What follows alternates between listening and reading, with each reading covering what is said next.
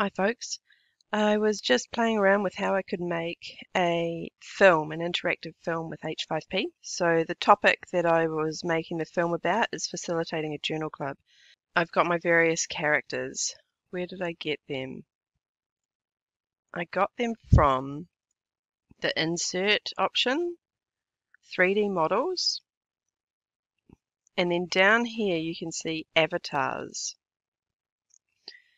avatars is where I got these characters. There are not very many options at the moment. Let's just have a wee look. So say you want to choose that guy and you can bring him in here and here are your different views that you can choose up along this top ribbon here where I'm switching them around. So say I want to go with the side view, other side view, and then I can move it around manually by clicking on it. Right, so that's how I got these characters around here. That's also how I got this table. Um, again, it was just from insert, 3D models. I really like this 3D model function. There's a lot of options in here overall, and I hope that they will make even more options. So I didn't see it there.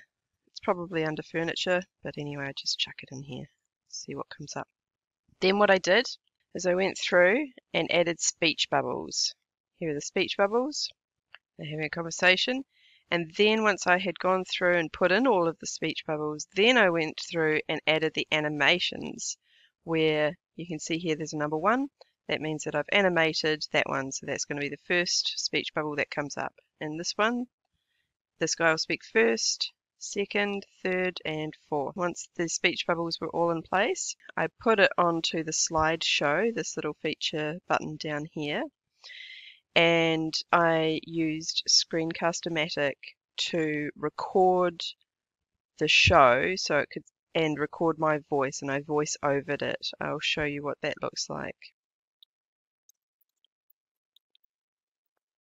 So you can see I was just going through and I'm clicking the buttons, um, just clicking the spacebar, I think. No, I was clicking my mouse to move move the conversation forward.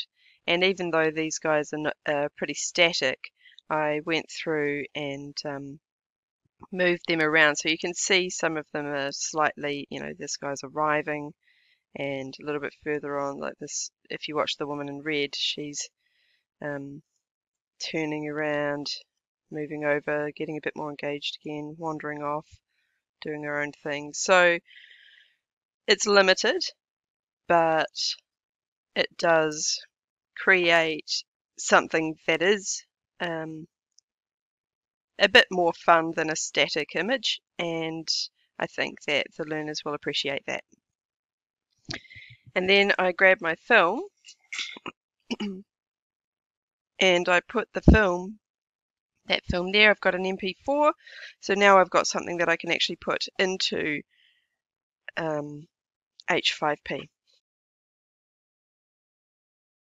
So here I am, on, in this case I'm on Canvas, my learning management system, and I've got my page open with various activities here, and here you can see the film I've uploaded I want to go in there and make it interactive. So here's the edit button. I've already uploaded the video. That's it there. That's what it will look like once it's uploaded. Here are the interactions. And it's a bit tricky to show you this in H5 um, in Canvas.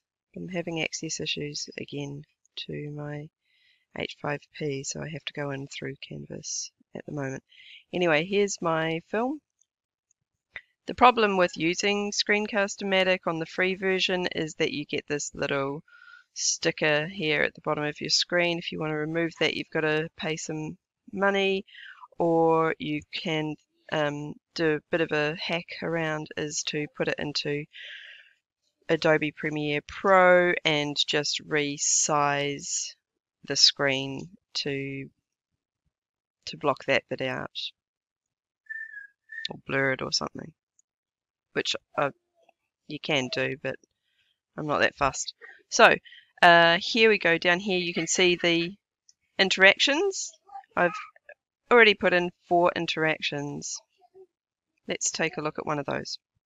Here we go. So something's popped up. This journal club session is an example of, and then there's the two types of learning that it could be. It could be flipped classroom, it could be blended learning. So you choose one, you can have a wee look if you want to edit it.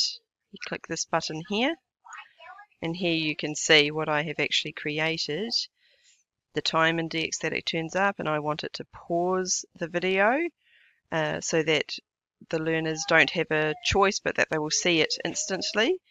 Here is the question. That's where I write in my own question here and you can see there's your options. Then this is where I put option number one.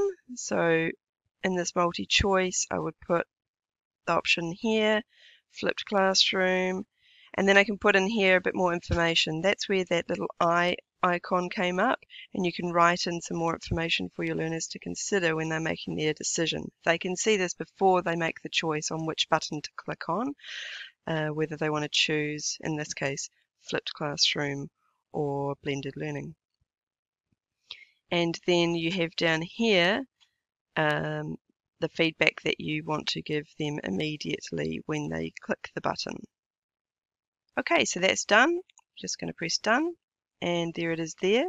Now I have the option to resize it or um, muck around with various other aspects. I can also copy it from here if I want to create another uh, interaction that's almost identical to this, you know, 10 seconds later. This is a 2 minute 44 film and I recommend no more than four interactions in that kind of a length of film. And that's how it works. Okay, well, that's all from me, and uh, have fun.